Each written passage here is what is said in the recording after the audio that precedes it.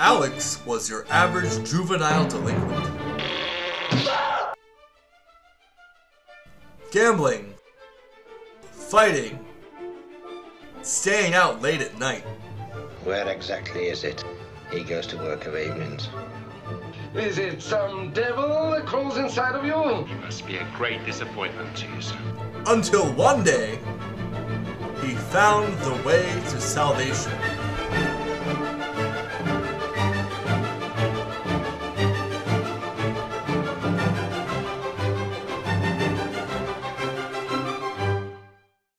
This summer, Alex changes his ways, Now we're back to where we were.